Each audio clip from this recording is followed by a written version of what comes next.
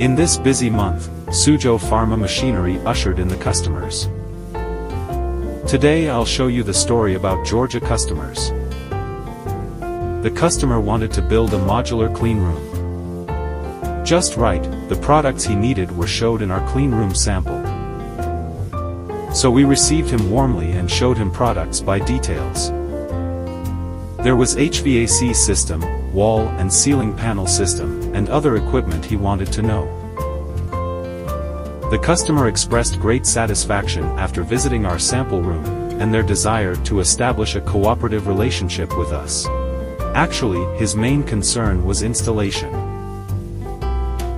As a detail-oriented turnkey cleanroom project supplier, we would provide detailed 3D installation video after delivery, to ensure customers can install the modular cleanroom by themselves.